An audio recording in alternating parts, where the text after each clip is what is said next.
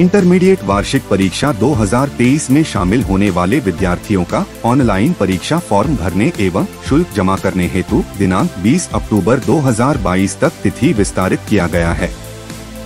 इस प्रकार अब ऑनलाइन परीक्षा फॉर्म विलम्ब शुल्क के साथ समिति की website inter twenty three dot Bihar board online dot com के माध्यम से शिक्षण संस्थानों के प्रधान द्वारा भरा जाएगा।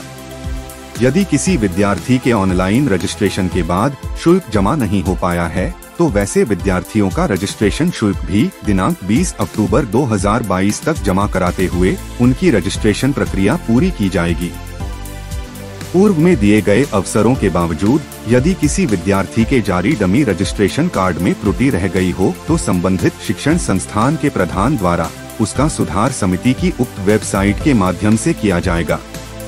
तत्पश्चात संशोधित रजिस्ट्रेशन विवरणी के आधार पर ही उक्त अवधि के अंदर संबंधित विद्यार्थियों का ऑनलाइन परीक्षा फॉर्म भरा जाएगा। ऑनलाइन रजिस्ट्रेशन एवं शुल्क जमा करने में किसी प्रकार की सहायता के लिए हेल्पलाइन नंबर शून्य छः एक दो दो दो तीन शून्य शून्य तीन नौ पर संपर्क किया जा सकता है।